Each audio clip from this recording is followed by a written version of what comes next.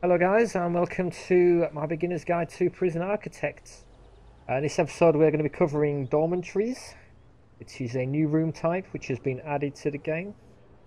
Uh, this is added in update 1. It's the first update after the 1.0 release of the game. So as I've mentioned before they are continuing to update this game. It's going to go back to a monthly schedule. It's a little bit off now because of the release and because of Christmas but in the new year it should be the end of every month, I believe. They will update and add something new to the game or change things. Uh, they have changed the way that um, escape mode works. They've sort of nerfed shotguns a little bit. Now they have limited ammo and they've changed a few other bits and pieces. But we're, we're here to do the dormitories, so let's uh, crack on to that. Now I have did record this video already, and I got prisoners in at the end just for a bit of fun and obviously it didn't go well because this prison is not set up at all for prisoners.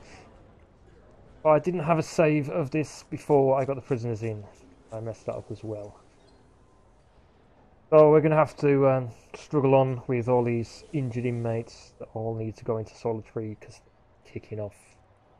This, this is a terrible, terrible prison. So this is the new room type, dormitories. Um, find on here. Uh, dormitories are a variable sized room for housing multiple prisoners. The bigger the dormitory, the more prisoners it can house. Its room requirements are the same as cells. And they are a 2x3 of minimum size. They've got to be enclosed, or surrounded by walls and a door. They'll be indoors. They'll have a bed or a bunk bed, is the new item. I'll cover in just a second. And they've got to have a toilet in them.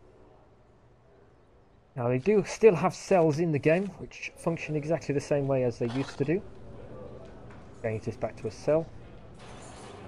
Oh no, it's got a bunk bed in it. Uh, cells can't have bunk beds in them. There's one thing that... Well, that hasn't changed. Cells, uh, bunk beds are new as well.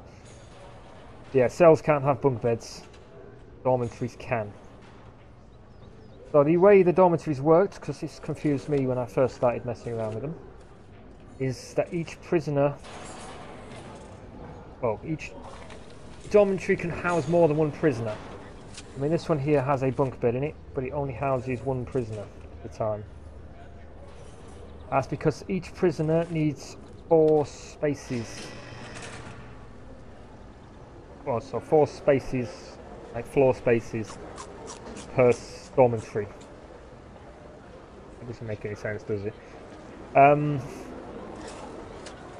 yeah, each dormitory needs four spaces in it for per prisoner.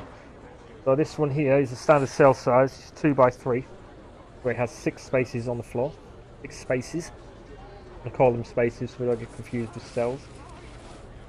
Um, so it will only house one prisoner, because they need at least four the other two are almost wasted, as it were. Oh, so although this has a bunk bed in it, it will only house one prisoner. So the next one I built was a 2x4 space in the middle at least. And it's slightly big on the outside, it's 4x6 on the outside, but it's 2x4 in the middle.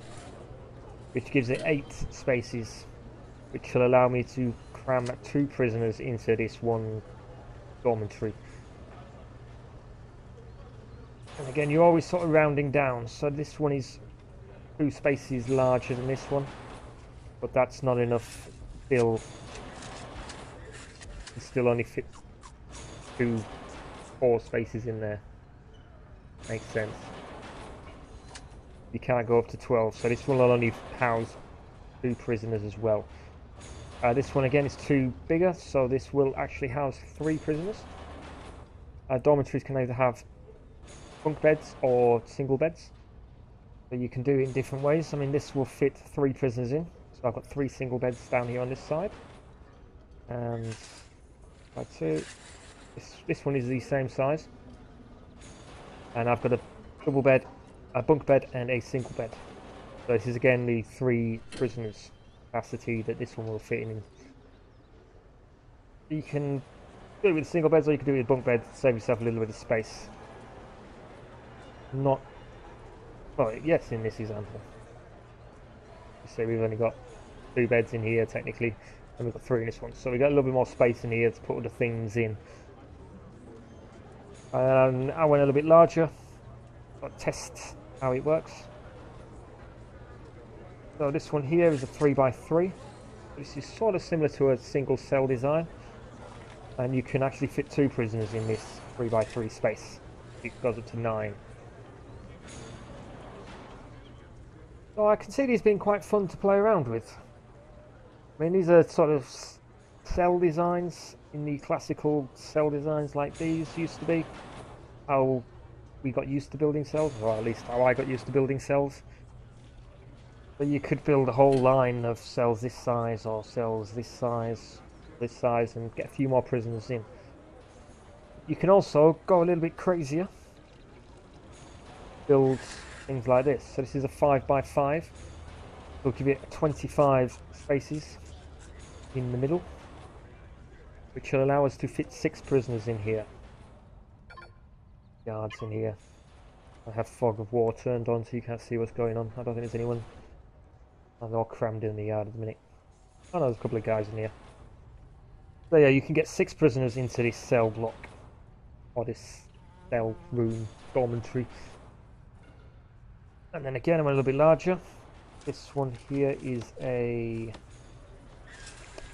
6 by 6 Will fit 2, 4, 6, 8, 9 in a 6 by 6 You can these are the maximum you can put in there. I have tried it with more beds and they just become unused after a while.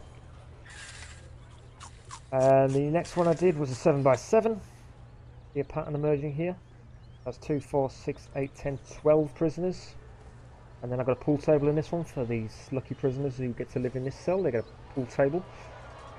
Oh, it's kicking off again. Just going to ignore that. And then here I've got an 8 by 8 2, 4, 6, 8, 2, 4, 6, 8, 10, 12, 14, 16 prisoners in this 8 by 8 cell. I mean, all these cells only have one toilet in them, which was an issue. There's many, many issues with this prison. I mean, that was one of them that I think the bowels need. Oh, it's not terrible at the minute. I mean, they have a lot of free time in this regime, a lot of lockup time, so guessing that's why it's not as bad as it probably should be. See, everything else is maxed out because I don't even have showers in this prison. Oh. Prisoners trying to escape there. So yeah, you will have to think about putting more toilets in, building larger shower facilities if you're going to start using these dormitories and trying to get a lot of prisoners in here.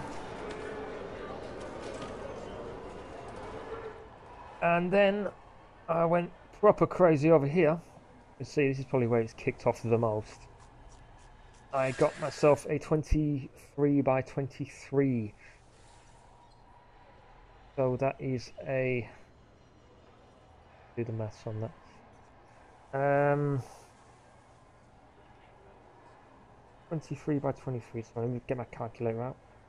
23 by 23 give us a 529 spaces in the center. Right. And then if we divide that by 4, that gives 132.25. So we round that down. And this block here will house 132 prisoners. Is quite impressive for 25 by 25 building. The outside dimensions. Usually that's the sort of maximum I would get in my prison, my entire prison. When you get other rooms in, when you get visitation and you get an armory, a staff room, um, chapel, kennels, morgues, security, infirmaries. When you get all of that other stuff in, you sort of start running out of space. So although we don't have anything else built in this, we just went for cells basically, or dorms, we have a capacity of 215. I mean, it doesn't work. As you can see from all these people who are injured and awaiting solitary, I had to build a solitary just to try and process some of these guys a little bit. But yeah, So it's going to allow you to build much larger prisons or much larger capacities while still remaining in a small prison. This is only a small starting prison. You won't have to expand out to get up to crazy numbers of prisoners. Uh, you will have to think a little bit more about toilets and such. I haven't done here. But I will be building a prison, I think, with using dormitories to try and cram people in. Try and get more of a feel for how it works in the real game. I mean, if you look at this, this is ridiculous. I've got one table under this mass of prisoners to feed everybody. so that's obviously not working at all. And they have also, with this, changed the room quality. So if you go to logistics, uh, logistics is unlocked through prison labour. I've got prison labour unlocked here. Doesn't quite fall under the prison labour, but that's how you unlock logistics, and that's the tab it's in. So you go to your room quality. You'll now see that rooms are graded as they were before. Um, I don't think I've mentioned this. Remember now. I'll go, through briefly. The higher the grading, the happier the prisoners in that cell will be.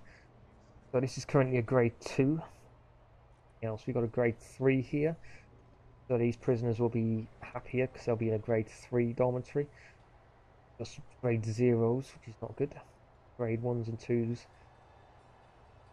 Yeah, basically, every day the prisoner doesn't kick off, he gets entitled to a better room. He starts off on 1, I believe. And then if he doesn't kick off for a day, he gets entitled to a quality 2 room, or grade 2 room, and then a grade 3 room, and a grade 4 room, and so on up to 10.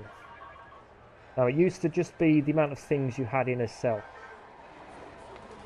Most dormitory still. Mm. So if you put a TV, a radio, bookshelf, chair, desk, pool table wasn't on there, a shower head, got all of those things in the cell that would increase the grade of that cell. But now it works on a per prisoner basis. And this runs on the current occupancy of the cell, not the maximum occupancy. So for this to get a point, it's got one point for having at least six squares per prisoner. So for these 71 prisoners in here, they get six squares each. You get another point if you made that up to 12, another point for that being 18. But for 132 prisoners in one block, 18 squares each. That's a lot of squares. I mean, when this is full, it'll probably drop back down to a zero, I would guess. And then get another point for shower heads, so one shower head per four prisoners. Makes it a little bit more useful than it was before. You only have to put one shower head in for four prisoners rather than one shower head for one prisoner. Uh, one bookshelf per four prisoners, one chair per four prisoners, one pool table for four prisoners, and one outdoor window per eight prisoners.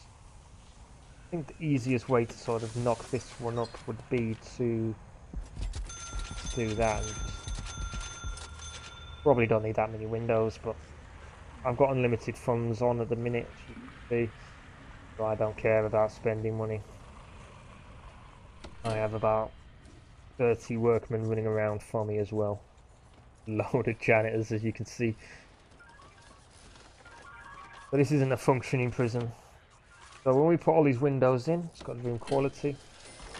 There we go. Quite quickly it sorted itself out and we got another point for having one outdoor window per eight prisoners.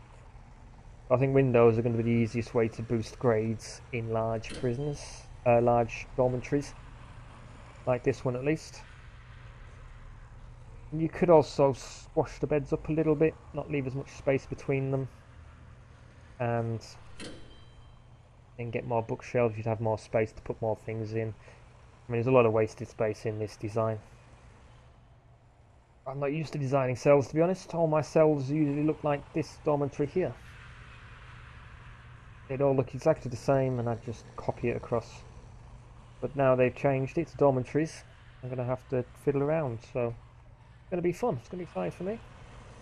Uh, I don't know if you can see this, if you notice here. Uh, you only see the top prisoner. So the prisoners, there is two prisoners sleeping in this cell. but you only see the top one. So these bunk beds have four prisoners in them, but only you only see the top one, which isn't really much of an issue. Fortunately, you oh you can click. You just have to click slightly underneath. You can click on both prisoners while they're in the um, bunk beds.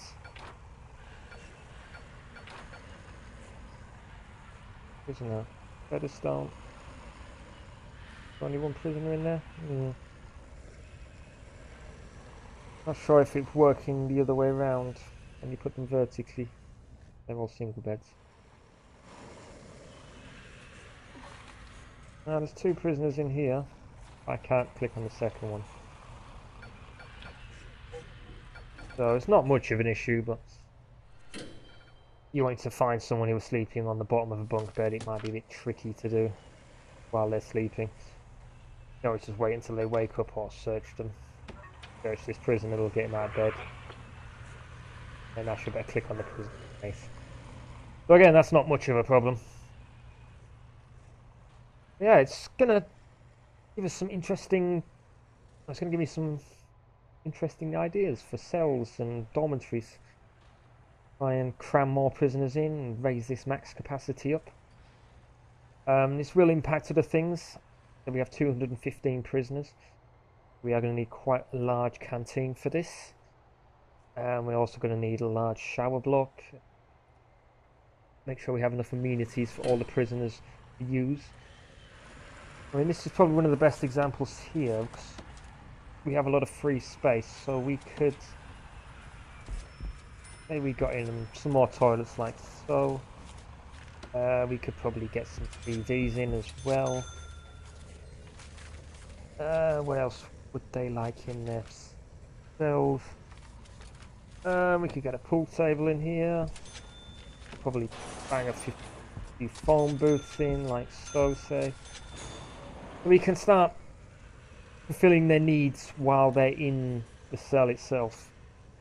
But while they're in lockup time, they'll better use these phone booths and this pool table and these TVs.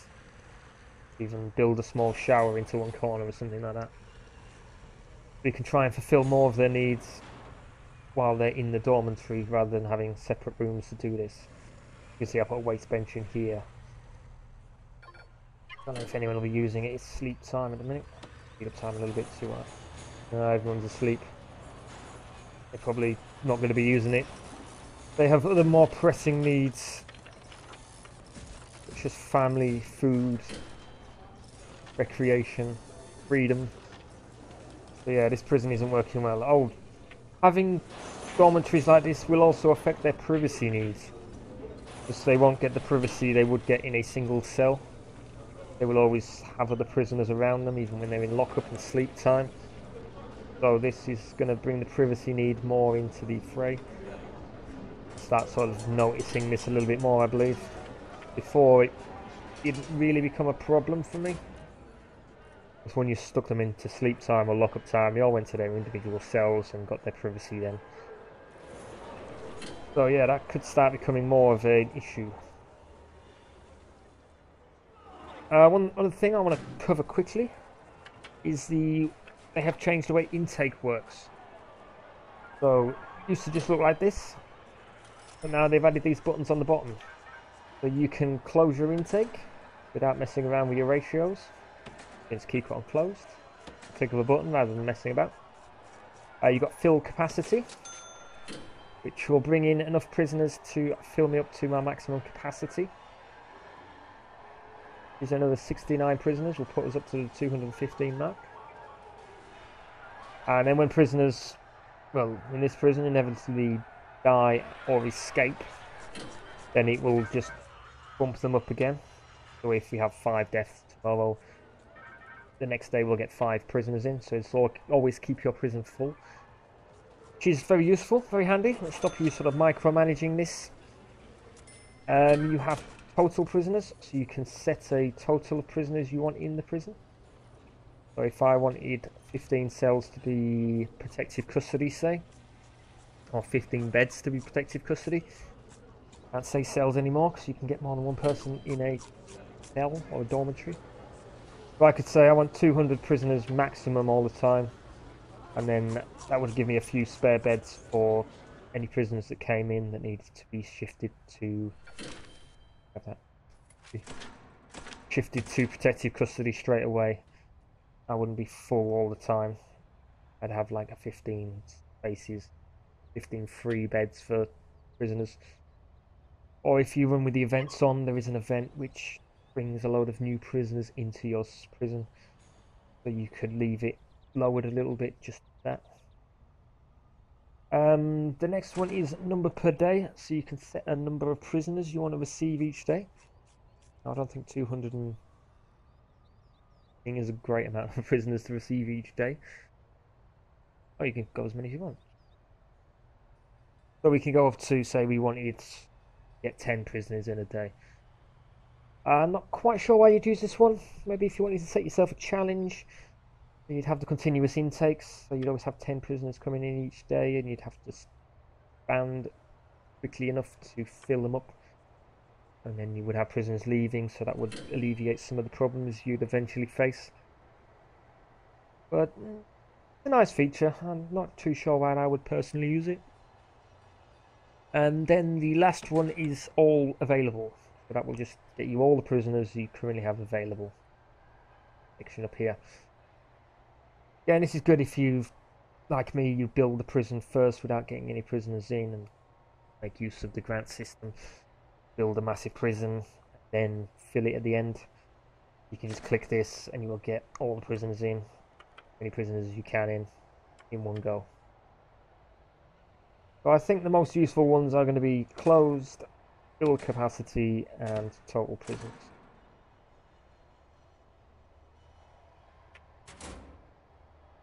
Ah, so that is all they have changed in this update. Uh, there's another update towards the end of December. Or is it? It's the 16th or the 17th of December. It'll be the Friday around that date. I'll give them a little bit of time off for Christmas. They have worked hard. And I look forward to seeing what that brings. I think the next prison I'm going to do is going to be using dormitories, as I said and try and get a feel for how they actually work in a prison that's designed well and better than this is. this just really doesn't work at all. It was only for testing purposes. Yeah, it's gonna gonna allow me to come up with some different cell designs and some new ideas of how we can raise this capacity up cram as many people in as we can and make a decent cash flow out of the next prison, hopefully. That's what I was trying to do. Try and make money. And also get reform. Oh, we don't have any prisoners released. Yeah, I try. It's mainly about the money, to be honest, for me. I know some people all about the reform, but great thing about a sandbox game, you can play it however you want. There is no right way and there is no wrong way. Oh, I just want to say um, thank you for everyone who watched this video. If you stuck through to the end, thank you very much for doing that. Uh, thank you to everyone who has subscribed and commented and liked my previous videos. It means a lot to me. I'm always happy when I see on YouTube that I've got another comment or another subscription or another like on one of my videos. So thank you very much for that, guys. Um, if you have enjoyed this video, then please again drop it a like or drop me a comment and that will help other people find this video and hopefully they can learn how dormitories work as well. Um, if you want to subscribe then it will let you know when I post videos because it is a bit sporadic. So if you click the subscribe button it will just drop you a message every time I post a video and you'll keep up to date with the videos I'm posting. So again, thank you very much for watching, and I will catch you guys next time.